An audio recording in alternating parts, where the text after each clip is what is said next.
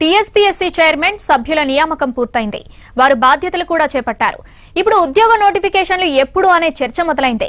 Job నోటిఫికేషన్ల కోసం నిరుద్యోగులు ఆశతో ఎదురు చూస్తున్నారు యాభై వేల ఉద్యోగాల భర్తీ చేస్తామని ఇప్పటికే సీఎం కేసీఆర్ ప్రకటించారు. ఇందుకు సంబంధించిన ప్రక్రియను ప్రారంభించి ఖాళీలను గుర్తించాలని ఆదేశించారు. అధికారులు కూడా హడావుడి చేశారు. కొన్ని శాఖలు ఖాళీల వివరాలు ఇచ్చాయి. ఆ తర్వాత వరుసగా ఎన్నికలు రావడం దీనికి తోడు కరోనా విజృంభణతో నోటిఫికేషన్ల ప్రక్రియ అటకెక్కింది. ఇప్పుడు టీఎస్పీఎస్కి కొత్త చైర్మన్ ఎంపికతో ఉద్యోగాలను వెంటనే భర్తీ చేయాలని డిమాండ్ చేస్తున్నారు నిరుద్యోగులు.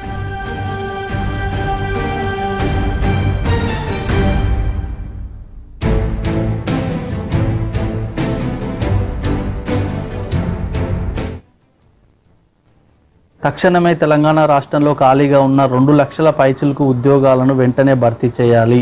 ఇప్పటికే ఏడు సంవత్సరాలుగా రాష్ట్రంలో ఉన్నటువంటి విద్యార్థులు నిరుద్యోగులు చాలా రకాలైనటువంటి ఇబ్బందులను ఎదుర్కొంటున్నారు. ఉద్యోగాల భర్తీల్లో ప్రభుత్వం తీవ్ర జాప్యాన్ని అనుసరిస్తుంది.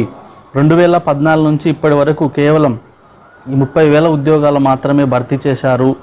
ఆ రోజు సాక్షాత్తు అసెంబ్లీలో రాష్ట్రం ఏర్పాటైన తొలినాళ్ళలో సీఎం కేసీఆర్ గారు లక్షా ఏడు వేల ఉద్యోగాలను రాష్ట్రంలో తక్షణమే భర్తీ చేస్తామని చెప్పారు. కానీ ఇప్పటి వరకు ఆ హామీ నెరవేరలేదు.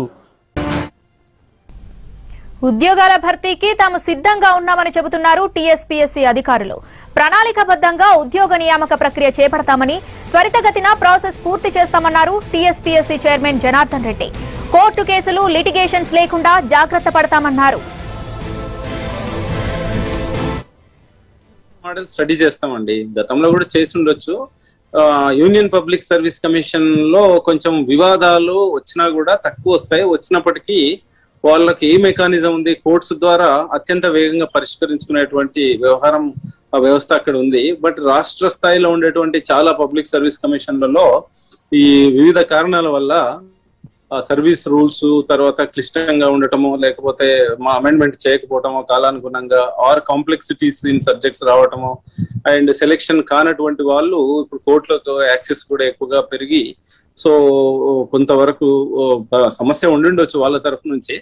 అంటే సమస్యలు వచ్చినప్పుడు ఈ కోర్టులో వెళ్ళినప్పుడు సత్వరమే పరిష్కారం చేసేటువంటి మార్గాలు ఏమేమి ఉన్నాయో అవి వెతకాల్సిందే. ఎందుకంటే భవిష్యత్తులో కూడా రిక్రూట్మెంట్ చేస్తున్న క్రమంలో టోటల్గా లిటిగేషన్ ఫ్రీ ఉంటుందని మనం ఆశించడము అత్యాశ అవుతుంది.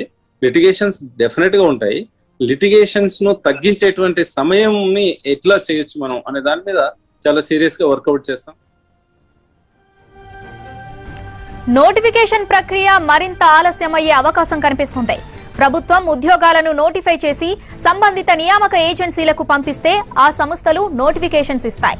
టీచర్ పోస్టుల నోటిఫికేషన్ పై క్లారిటీ రావాల్సి ఉంది. టెట్ విషయంలో నిర్ణయం తీసుకోవాల్సి ఉంది. దీన్ని టీఎస్పీఎస్సీకి ఇవ్వాలా? డిఎస్సీలో పెట్టాలా అనే చర్చ జరుగుతోంది. ఇప్పటికే హెల్త్ గురుకుల విద్యాలయాల నియామకానికి ప్రత్యేక బోర్డ్స్ ఏర్పాటయ్యాయి. టీఎస్పీఎస్సీకి ప్రభుత్వం ఏ కేటగిరీ ఉద్యోగాలను భర్తీ చేసేందుకు అప్పగిస్తూ నిర్ణయం తీసుకుంటుందో చూడాలి.